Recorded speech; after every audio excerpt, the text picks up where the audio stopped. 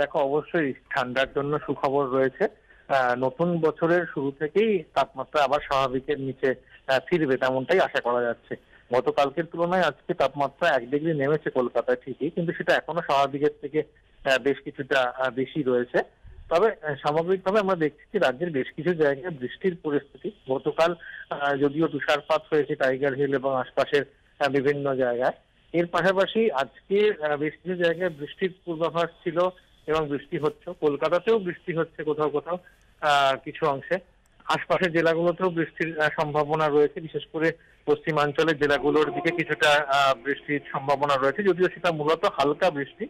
এবং আগামী কাল থেকেই আবহাওয়ার উন্নতি হবে এবং ধীরে ধীরে তাপমাত্রা নামবে। আশা করা যাচ্ছে শীতের জন্য সুখবর ফিরবে নতুন বছরের প্রথম থেকেই। ধন্যবাদ, সঞ্চয়। এদিকে কলকাতার পাশাপাশি বেশ কয়েকটি জেলাতেও শুরু হয়েছে বৃষ্টি। আপনাদের জানাব যে পশ্চিম মেদিনীপুর সেখানে কি পরিস্থিতি? কথা বলব আমাদের প্রতিনিধি অমিত জানার সঙ্গে। অমিত, পশ্চিম মেদিনীপুরে আবহাওয়া ঠিক কীরকম রয়েছে? বৃষ্টি কি শুরু হয়েছে? ঠান্ডাই বা কেমন রয়েছে সেখানে? দেখো, সঙ্গীতা, বলে রাখি যে শীতকালে একেবারেই শীতের দেখা নেই বললে চলে। গতকাল থেকে কিন্তু মেঘলা আকাশ রয়েছিল এবং সকাল থেকে যেটা আমরা দেখতে পাচ্ছি যে মেদিনীপুর জেলার একাধিক জায়গাতেই বৃষ্টি শুরু হয়েছে এবং একেবারে ঝিরঝিরে বৃষ্টির ব্যাপার শুরু হয়েছে এবং মানুষজন কিন্তু শীতের বেলায় যে যে শীতটা উপভোগ করার কথা ছিল, সেই উপভোগ কিন্তু করতে পারছে না। তারা কিন্তু একদম ছাতা নিয়ে বেরিয়েছেন এবং এলাকায় আমরা যেটা দেখতে পাচ্ছি যে গাড়ি ঘোড়া যেমন রাস্তায় খুবই কম চলছে এবং বৃষ্টি কিন্তু খড়গপুর থেকে শুরু করে নারায়ণগড় এবং বেলদা, এইসব এক- একাধিক জায়গায় দাঁতন, এইসব জেলায় কিন্তু জায়গায় কিন্তু বৃষ্টি শুরু হয়েছে এবং শীত একেবারে দেখা নেই। এর ফলে দেখা যাক বেড়া বাড়ার পরে আবহাওয়ার অবস্থানের পরিবর্তনটা হয় কিনা সেটার দিকে এখন তাকিয়ে আছে মানুষজন। এবং এই বৃষ্টি যেমন শুরু হয়েছে, এতে আবারও যে বড় মরশুমের যে চাষ, সেই চাষের আবার ক্ষতির আশঙ্কা করছেন কিন্তু কৃষকরা। এবং বেলা বাড়ার পর- যদি আবহাওয়ার অবস্থার পরিবর্তন হয়, সেটার দিকে তাকিয়ে আছেন কিন্তু মানুষজন। এবং একাধিক জায়গায় কিন্তু এখনও কিন্তু বৃষ্টিপাত চলছে। ধন্যবাদ, অমিত।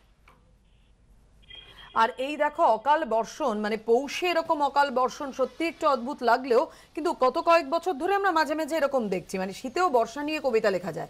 কিন্তু রীতিমতো এই সময় শীতকালীন বৃষ্টিটা সত্যি অসহ্য হয়ে ওঠে। মালদার কি খবর জানব? কথা বলব আমাদের প্রতিনিধি করুণাময় সিংহর সঙ্গে। করুণাময়, কেমন রয়েছে আবহাওয়া? গতকাল থেকে মেঘলা আকাশ ছিল এবং ঝিরঝিরে বৃষ্টিপাত হচ্ছিল। রাতভর ঝিরঝিরে বৃষ্টিপাত হয়েছে, সকাল থেকেও মেঘলা আকাশ রয়েছে এবং বেশ কিছু জায়গায়, জেলার বেশ কিছু জায়গায় কিন্তু সকালের দিকেও বৃষ্টিপাত হয়েছে।